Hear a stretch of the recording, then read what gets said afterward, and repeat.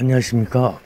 2022년 7월 22일부터 춘천문화원 의암전시실에서 전시 중인 한국전쟁으로 퓰리처상을 수상한 종군 기자 맥스 데스포의 사진 영상입니다.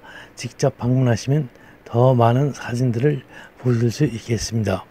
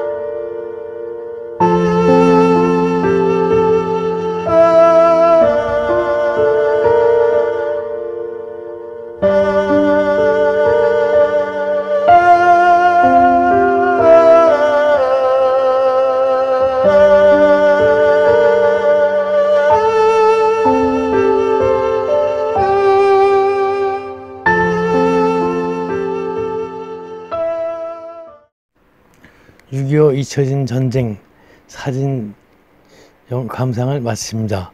수고하셨습니다.